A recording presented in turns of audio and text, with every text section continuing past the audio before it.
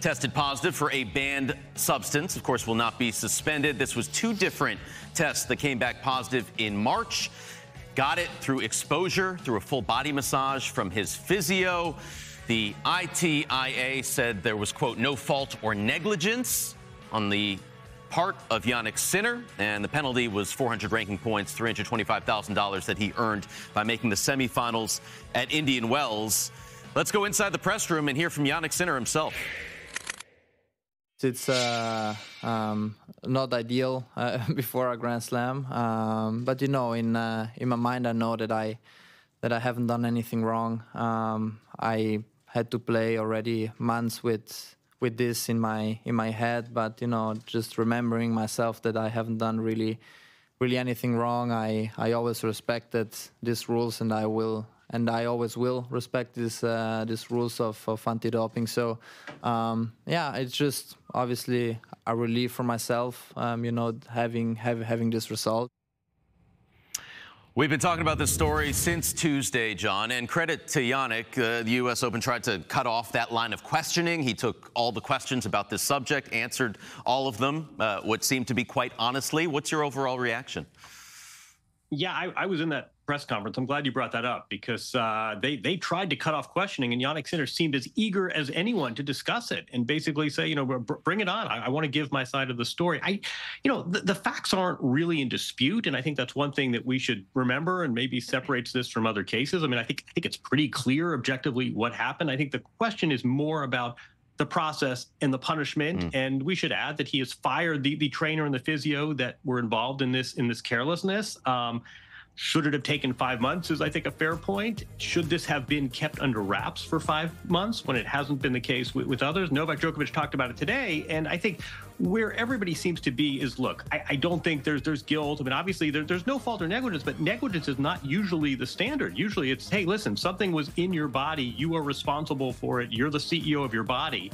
Um, but I, I think the the issue here is much more with the process than did Jannik Sinner dope, which I think the answer pretty clearly is, is no. So I, I think let's separate facts and process. I think I think it's the process that a lot of people are uncomfortable with.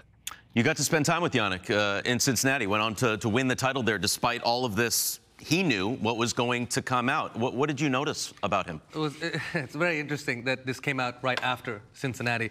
Throughout the whole week, he, he seemed a little bit more down, a little bit more subdued than he normally is. Uh, even on his birthday, uh, Danny and I, who, who are on the TC desk, wished him happy birthday and sort of asked him after when we were off camera, um, you know, how you doing? You celebrating? He said, he's no, you know, I'm just gonna kind of take it a little low key. And you could just see it on and off camera, he was a bit more subdued. Even when he came for the finals interview, first question I said, man, he's won the title. You know, why, why are you so serious? And he's, um, just locked in, you know, still in the match. And now it sort of all tracks, all makes sense. This is a lot to play with over five months. And he is one of the cleanest guys out there. Everybody loves him. He is such a class act from the minute he first came on as an 18 year old all the way to now. He's always carried himself with such integrity in the way he speaks and such a fan of him. But it's not easy to be able to do this. Having said that, the fact that he won Cincinnati yeah. and he beats Zverev in that unbelievable match, he played great against Tiafoe, all of that said and done, it shows, even at this young age, you can compartmentalize.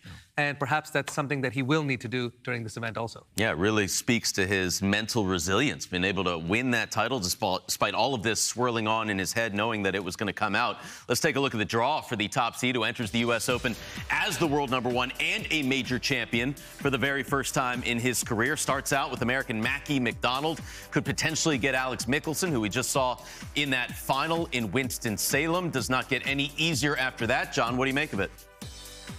Yeah, I mean, part of this is about the players he faces. He's in the the Alcaraz uh, half, so Novak does uh, no, Novak got the nice draw here. But I, I think a lot of this is just going to be how is he dealing with this new set of circumstances, and some of this is about the names on the draw and the player. I mean, certainly based on if this were in, in a vacuum, he can't complain about his draw, pretty good, notwithstanding being on the Alcaraz half. But I think a lot of this is how will he address this sort of very strange set of circumstances that he has not had to confront before? And I think that really is, is the biggest mystery beyond uh, what, what the draw served up. And New York fans are not subtle, Prakash. How do you think they're going to react to Jannik Sinner?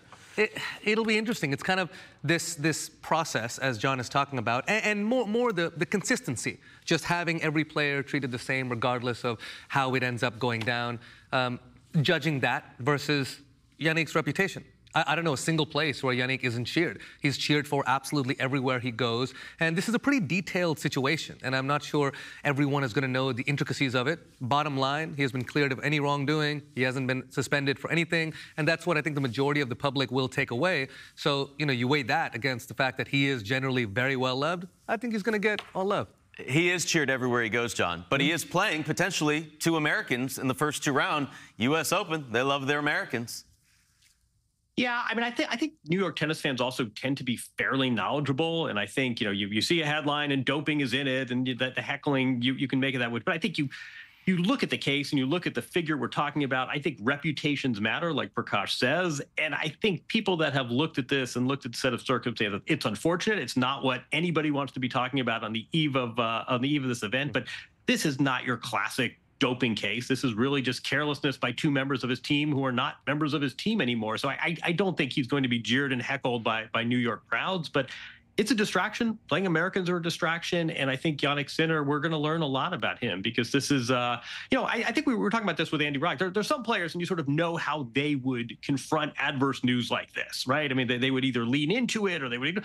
This is not somebody that we have a lot of perspective with in this sense, and I'm not sure he does either. So I, I think his the, the, way he reacts to this, responds to this, and deals with it, I, I think is really going to be uh, a bit of a window into who Jannik Sinner is because um, he's, he's a great tennis player. We know that. We don't necessarily know a lot about him personally, and this is not how he wants to begin a major as a number one seed. But this is this is the hand he's, in a sense, dealt to himself. One of the